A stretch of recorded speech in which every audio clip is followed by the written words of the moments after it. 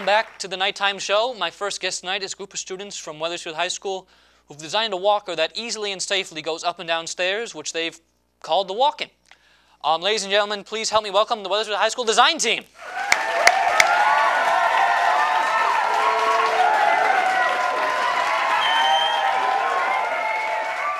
Thank you for joining us out here. Um, why don't you introduce yourselves? Well, first off, thank you for inviting us. My name is Griffin Datula. And mine is Charles Prasad. So I think myself included and the audience want to know exactly what is it that you guys have designed. Basically, what we designed is a walker that goes upstairs. Yes, the legs adjust to certain heights of stairs using an actuator. What exactly is an actuator? Well, in our case, an actuator is a threaded pole that uh, uses a motor to make the legs move up and down to different heights of stairs. Yeah, uh, I, I think I got an idea what this is, but let me just check. You've been to the barber recently. I mean, look at your hair. It's Yeah, nice yeah, and yeah. short. Yeah, yeah. You know that sign from the barber, the one that goes down and up, and it can't go down forever. I mean, it's gotta go up eventually. Is that what you guys designed? Yes, yeah. Basically, it, that's what happens inside the legs is they move up and down. So we know about the design of the, your Walken at this point, but what exactly inspired you to pursue this project? Well, between talking to members from the Westfield Advisory Committee for People with Disabilities, as well as members from our staff, we found out that, you know, small businesses don't always have elevators, but they may have a small flight of stairs to enter or exit the building. And people with walkers can't really access that uh, uh, entrance or exit to get into or leave the building. So it makes it very difficult for them. And our main inspiration for this was a staff member at our school, who uh, Kathy, and she was first at the fourth floor, and then she got reassigned back to the main floor. And even now, because of her declining mobility, uh, she has difficulty going up the small flights of stairs that she has to throughout her day. And so we really wanted to find out a way to help this uh, person who is really nice. Um, can we see this device? I think the audience and myself included, do we want to see how this thing works. Well, if I had showed you myself, it wouldn't do any justice. Thanks, But how about some people who actually used the used the device and liked it and gave us some feedback? I hear you brought a clip with you. yes, we did. Let's have a clip. let's roll the clip.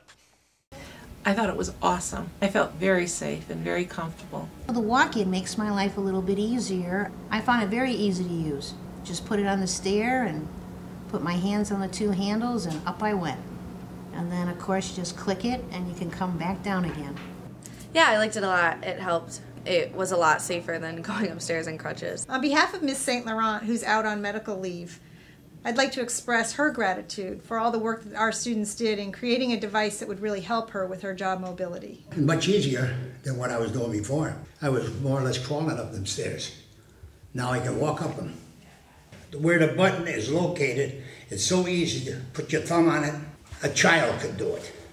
Wow, so much more to talk about. More with the Wethersfield High School design team in just a sec. Stick around.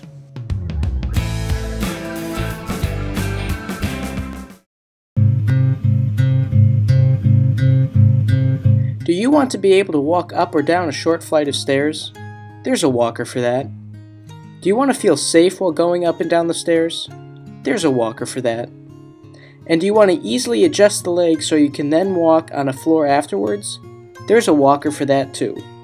Introducing the Walken, the world's first walker that helps you go up and down stairs safely and easily.